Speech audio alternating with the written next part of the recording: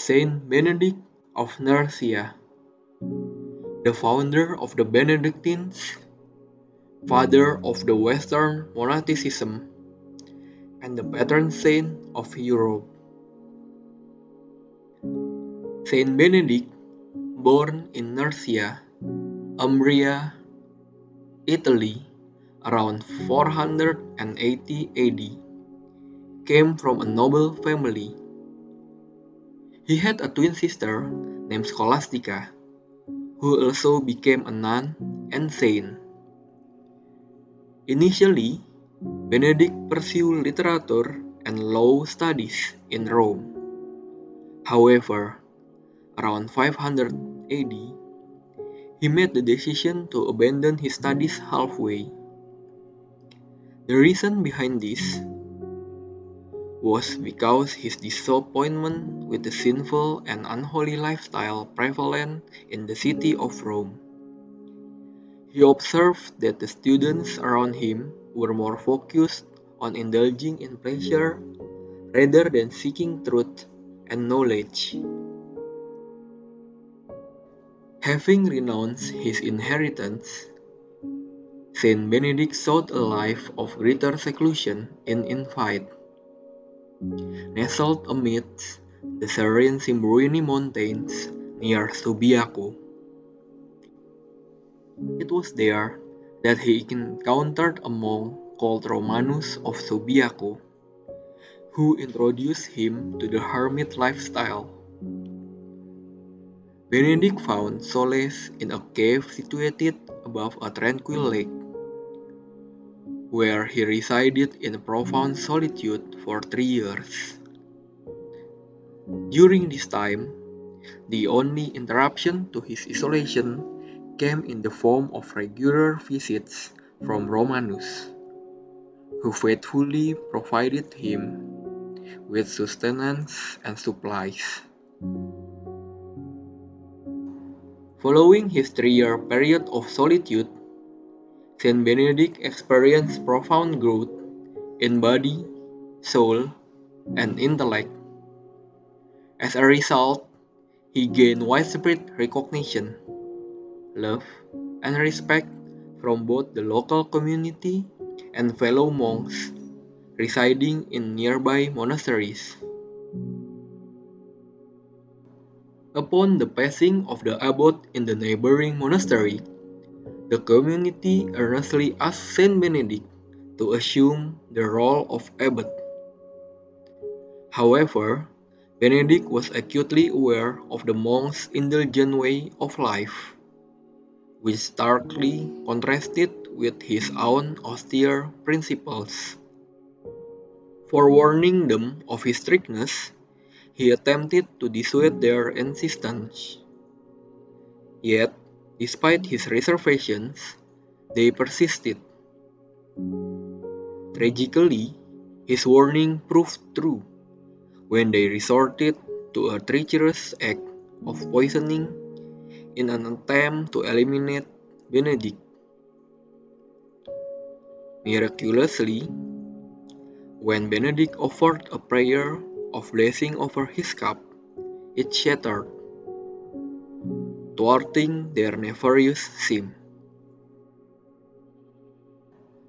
Another noteworthy incident involved a priest named Florentius in that area Fueled by envy and malicious intent to harm Benedict, Florentius attempted to poison him by offering him a loaf of bread laced with poison.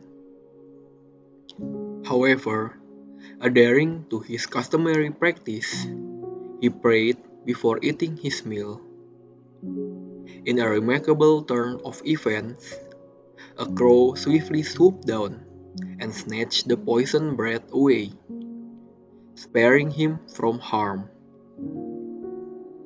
Undeterred by this failed attempt, Florentius employed the services of prostitutes in an effort to seduce Benedict's monks and undermine their devotion. Recognizing the grave dangers of succumbing to such temptation, Benedict made the decision to depart from Subiaco around 530 AD. Once again, finding himself in solitude, Saint Benedict's isolation was short-lived. The subsequent group of followers that joined him demonstrated a greater sincerity and commitment. In Subiaco, he established 12 monasteries, each housing separate communities of 12 monks. However, it was in Monte Cassino where Benedict laid the foundations of the church's monastic system. Departing from the practice of creating individual communities, he united his disciples into one whole community. Notably, Benedict's own sister, Saint Scholastica, chose to dwell in close proximity, embracing a religious life alongside him. Saint Benedict undertook the significant task of writing the rule a comprehensive guide outlining how monks should live within the monastery and interact with their abbot. He expounded upon the principles of leading a spiritual life and established guidelines for the administration and governance of a monastery. Emphasizing the virtues of humility and obedience, Benedict provided insightful instructions on how monks should navigate and resolve conflicts among themselves. Furthermore, he prescribed a balanced daily routines for the monks, that they should dedicate 8 hours to prayer, 8 hours to work, and 8 hours to sleep. In Benedictine prayer, our hearts serve as vessels, devoid of the clutter of thoughts and intellectual pursuits. By emptying ourselves in this manner, we create a space for trust in God's providence to fill us. Through this process, we invite the abundant goodness of God to well up within us ultimately overflowing our heart with the transformative power of contemplative love. On March 21, 547 AD, at the Monte Cassino Monastery, Saint Benedict passed away as prophesied, succumbing to a fever on the very day God had revealed to him. He was laid to rest in the same sacred ground as his beloved sister, Scholastica.